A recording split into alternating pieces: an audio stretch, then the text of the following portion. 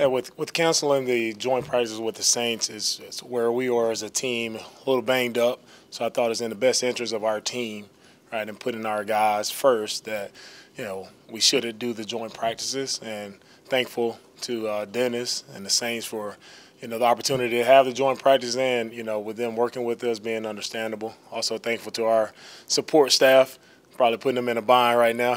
They're on the, but uh, they've been very helpful. Everybody's been on board with what we're doing. And one thing we always talk about is, you know, team first mentality, and that that went into the decision. So thankful for, you know, Cal and his support, and also our support staff. Is there a certain number of players that you would have needed, or was it just kind of a feeling looking at the team? I was just looking at our team and where we are now. Just felt that it wouldn't have been as productive as we would have liked it to be if we went to uh, New Orleans. But the uh, the flip side of it is we get the opportunity to treat this week is a, a normal in-season game week for us.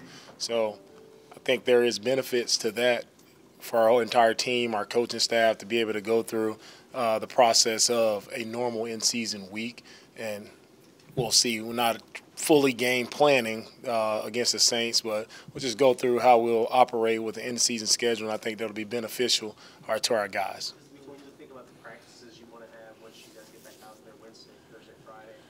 see from the guys this week heading into the game? Because it's still obviously guys are competing for jobs and trying to make this team. Yes, with these practices, our guys are still competing. Uh, and what I want to see from our guys as we go out to practice is just improve on the, the, fundamentals and the techniques, things we need to improve on from the game, things we can get better at. It's things that we can control, which is encouraging. And so that's what I'm looking for our guys to just hone in on the details of their assignments, the details of their job, and see if we can get you know a little bit better this week. And I think this would be a great opportunity to do that going against each other. How many days of rehabilitation you think you're going to need just to get the bodies back? Not so much the mental aspect, but get the bodies back and we can get some production out of everybody. Uh, each player is different when it comes to you know that rehabilitation process after guys play games. You know, some guys bounce back in two, three days. Some guys it takes a little longer. But each guy will be you know, handled accordingly on an individual basis how it should be. Titus, before the game, looked like he had his cast off. It seemed like a promising sign. Any updates on him? You think he might happen week? I think Titus is improving. He's doing well. Uh, just pleased with where he is and look forward to him continuing to improve, but he, he's headed on the right track for sure. Coach, after going back and watching the film, what was it about the defense that wasn't able to stop them on third down? With, when it comes to third down, it always comes to rush and coverage. So the rush has to improve. It has to be better with the rush, and the coverage has to improve. Right when you know we want to play tight coverage, we have to be tight on our guys. We have to make it challenging, make the offense make a tough throw, tough catch, right, to put them put them on their heels a bit, and we didn't do that. The coverage wasn't tight enough, the rush wasn't good enough, and if we want to play, you know, great on third down and get off the field, right, we have to be tighter on both ends. Uh, Chase is still dealing dealing with some things too. Hopefully, he can be, get back to us pretty soon. DeMeco, what can you do to simulate uh, a practice against the Saints for CJ? Seemed like that would have helped him. What do you continue to do in practice to give him the same kind of work you would have gotten out of Yeah, with with the quarterback and with everyone, I think what we can do is we can kind of simulate as as close as possible. Right? We don't want to go all in on simulating all game plan type work week, but we can give them you know different looks that they'll see from the Saints as best we can to simulate that. It won't be, of course, as good as the joint practices actually going against a different opponent, different scheme, but we'll try to get it as close as possible. And as long as our guys, at the end of the day, as long as our guys are prepared, we know what to do, we know how to do it, and we go control, we can control, I think that'll be very beneficial for us.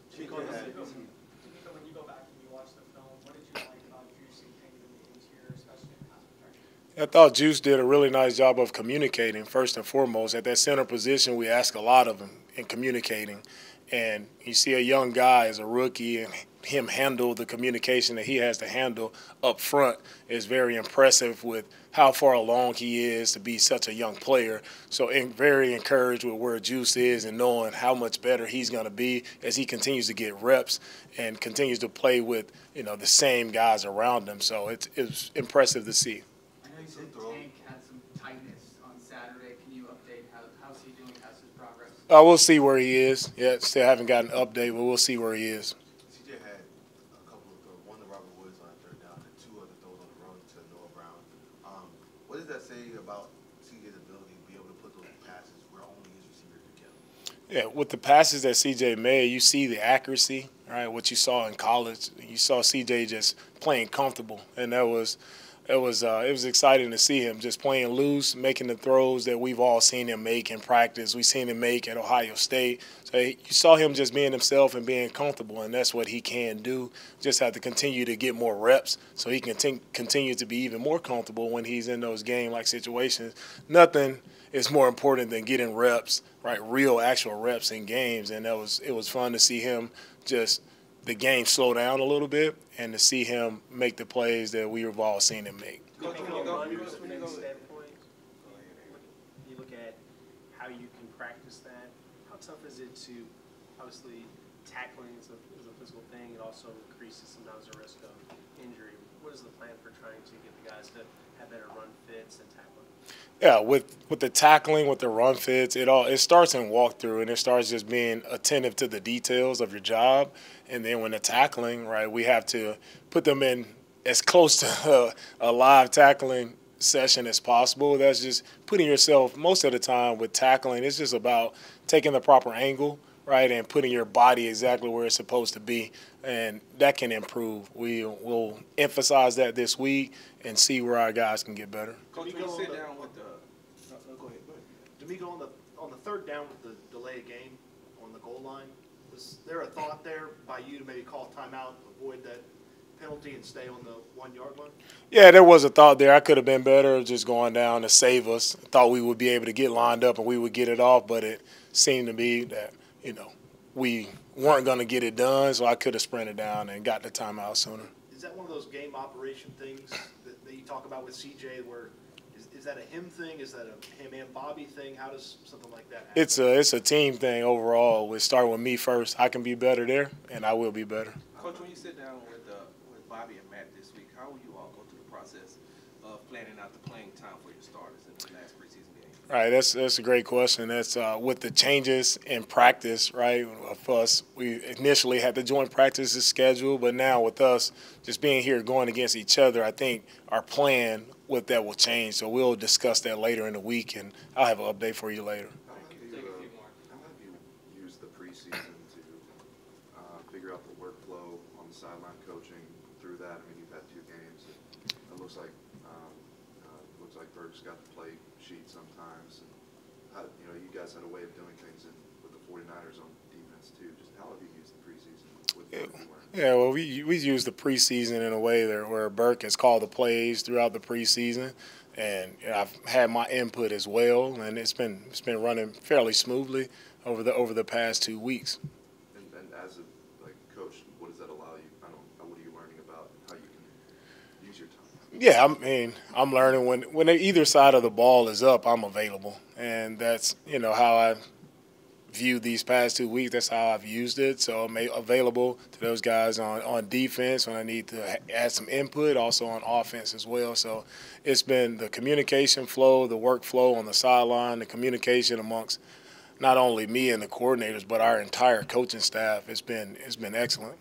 When you look, you know, when you look at the linebacker play, you talk about versatility, Henry saw action with the Sam outside spot, the Mike linebacker. Is that kind of what you're looking for, just the three best players who can fill in at any single given gap, just based on injuries or, you know, lack of production?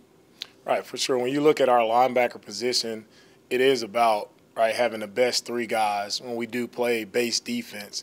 Not a lot of base defense is being played now with the the way the NFL is going, a lot more passing, a lot more 11 personnel. So you will see more two linebacker sets or one linebacker sets on the defense. So it's about having who are those best guys, but it's most importantly it's about having the versatility of guys who can play multiple spots at the linebacker position, not only linebacker but also secondary wise, safety, nickel, corner, having guys who can do multiple roles. It just and it just really helps us as a defense to be as flexible as possible. You plan to take many players up to the deadline, and you know how has the change in, in, in cut, how, how's that perhaps helped or, or affected you? I think the change in the cut is really it's been it'll be very beneficial to a lot of the young players, right, who probably wouldn't get that extra week of work to actually see improvement and see growth in their game to allow them to showcase a little bit more of what they can do to possibly be added onto an active roster or a practice squad. So I think the moving the cut day is really helpful to the guys where you get more opportunity, more time to spend with the guys. They get more reps in his in his last preseason game as well. So I think it's very beneficial. We know it'll be a lot of guys, you know, on the wire in one day, but you do get an extra look at guys, which I think is it's encouraging to a lot of these young guys who've been putting in work, right, from OTAs and training camp. They deserve the opportunity to get another week to showcase that they belong. So uh, I'm happy with how it is right now. So what, what is your philosophy on managing a game at this point? I know it's not the regular season game yet, but you used to be able to just focus on defense, what was going on there. Like, what have you, what, what, what has kind of expanded for you? Where, where do you find yourself? Uh, well, I, I found myself in a game management role. I found myself that it takes it's, it's about more than just myself. So I have a lot of good help when it comes to that game management role of other you know staff helping me out when it comes to that, and it's been going pretty smooth. Nico, what's your philosophy when it comes to playing reps for maybe guys who are on the fringe bubble, making the final roster in this game? Is it important to see them maybe play a little bit more, or is it practice more so than practice? Yeah, we'll see. It, it's all right. It's all a process. It won't be about right with the roster. It won't be about just you know one game or one week of practice. It's a cumulative you know effect of. I mean, we've seen these guys for a long time, so it's a matter of just how have guys just shown improvement. What have they shown? Have they shown that? Man, there is some promise. We would like to work with the guy. The guy has some tools to work with. He just needs a little bit more time. I think you you find that out throughout the course of your uh, time being with guys. is not just a rash decision that's made, you know, at the end of cuts.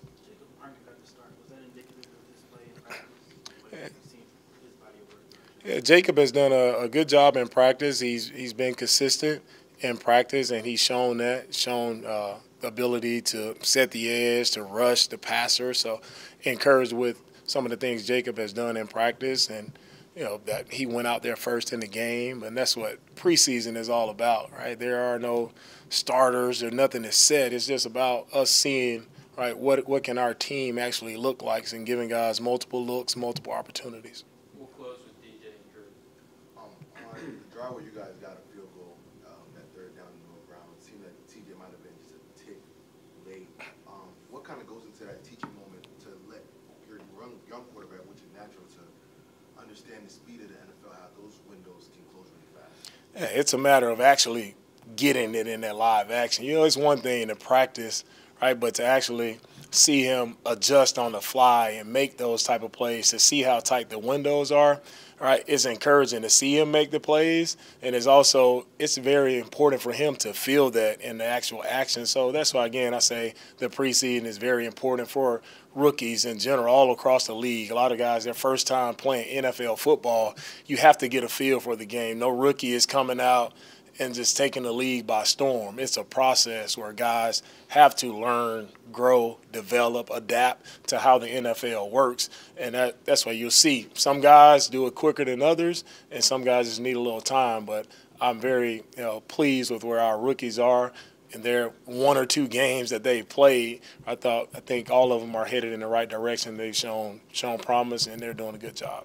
How helpful has it been having Johnathan Joseph around, and then in a broader sense, what sort of impact has the, the Bill Walsh uh, Diversity Fellowship had on, on this program? Yeah, thank you for the question. I think that the Bill Walsh program is is very vital, right, to the NFL. A lot of a lot of guys who normally wouldn't get opportunities are getting opportunities to join staffs and see how the workflow goes in the NFL. And it's been great having Johnathan Joseph around. I think he's been really instrumental in helping our, our young uh, defensive backs, especially working with uh, Stingley, right? And him just being able to relate to him. He's been in that position. He understands what it looks like. He understands what it takes to be a, a really great player. And I was very happy to have him around and working with those guys. And with the Bill Walsh program, when you look at our staff, when I first had the guys in, I just asked all our guys who were, were a part of that program to stand up right? And you look at our staff, and I think we have about five or six guys who were a part of that program who are now on the NFL coaching staff. So it shows that the program is definitely vital, and it's uh, it's important to see guys get the opportunities and know that you know there are a lot of great coaches out there that just need the opportunity, and that's what the Bill Walsh program provides. So I'm happy with the program and thankful for all the guys that we had come and help us this training camp to be a part of. Awesome, thank you. All right, thank you guys. A good-